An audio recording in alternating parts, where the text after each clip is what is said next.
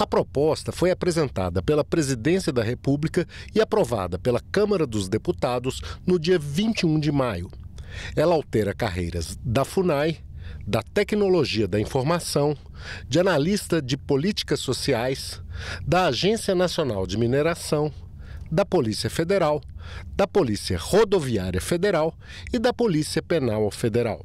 Os ajustes das estruturas remuneratórias contribuem para tornar os cargos mais atrativos, ampliando a capacidade do Estado de atrair e reter profissionais de alto nível de qualificação, o que tem reflexos positivos na gestão dos órgãos e entidades da administração pública federal. O relator rejeitou as 19 emendas apresentadas ao projeto, relativas a interesses de servidores dos antigos territórios federais e do Distrito Federal.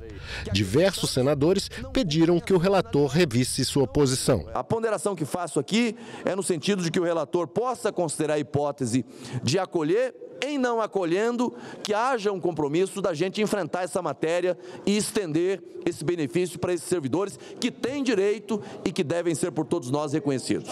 Na área de tecnologia da informação, todo mundo sabe, nós estamos no século XXI, nós temos que modernizar esse país, informatizar, digitalizar. Então, os analistas precisam ter, tem uma emenda 23, 24, que trata dos analistas de tecnologia. Da mesma forma, é, nós temos um problema sério com, aqui com a Polícia Civil nossa do Distrito Federal. As pessoas falam que a Polícia Civil do Distrito Federal é a que é mais bem paga, hoje é a oitava no país em termos salariais. Quando a senadora Leila, o senador Isalci, a senadora Damares questiona é, a possibilidade de fazer essa introdução no texto apresentado pelo relator, a gente acaba sendo, cada senador e cada senadora aqui, é, vários apelos por conta do prazo. Nós estamos aqui padecendo do problema das medidas provisórias que não têm suas comissões mistas instaladas. Este é mais o resultado disso. O senador Jacques Wagner sugeriu a criação de dois grupos de trabalho para tratar as questões dos servidores dos antigos territórios e do Distrito Federal.